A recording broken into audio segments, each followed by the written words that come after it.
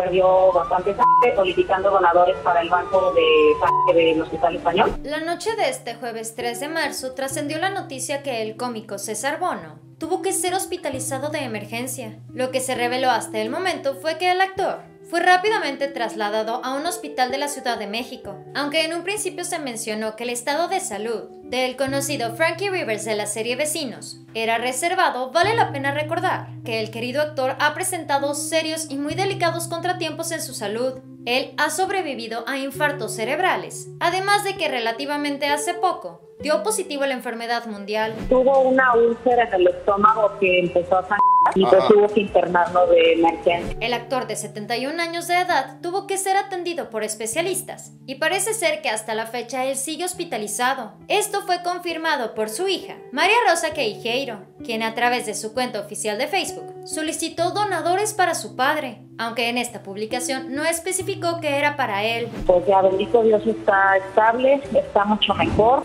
y fuera de Después de esto, el querido actor se hizo presente en redes sociales para poder tranquilizar un poco a sus fans. Y es que a través de un mensaje en su cuenta de Twitter, César Bono escribió, Muchas gracias a todos mis amigos de los medios, compañeros y a todos los que se han preocupado. Me encuentro estable y bien de salud, no corro peligro.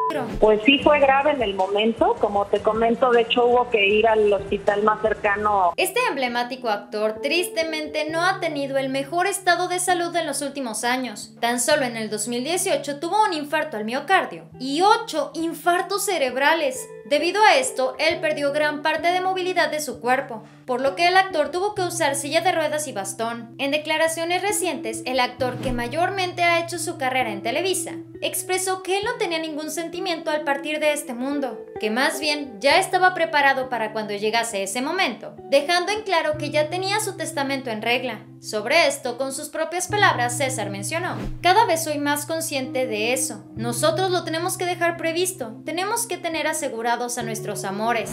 Tras haber superado la enfermedad que prácticamente ha estado en cada rincón del planeta, César Bono retomó una exitosa obra teatral del Cavernícola, la cual ha protagonizado a través de los años. Sin embargo, acerca de la dificultad que tenía el actor para presentarse en esta obra, él dio a conocer que en realidad se podía valer por sí mismo. Con sus propias palabras, meses atrás él mencionó, sigo con problemas de movilidad, pero no estoy tonto, no dependo de nadie. En lo material, nadie me mantiene, nadie me lleva al baño.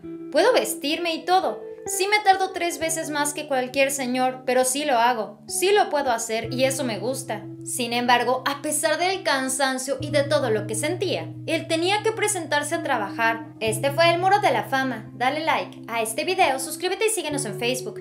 Pero antes de que te vayas, ¿qué te parece si checas este siguiente video? Estoy segura que te va a encantar. Espero que tengas un excelente día. Nos vemos muy pronto. Bye.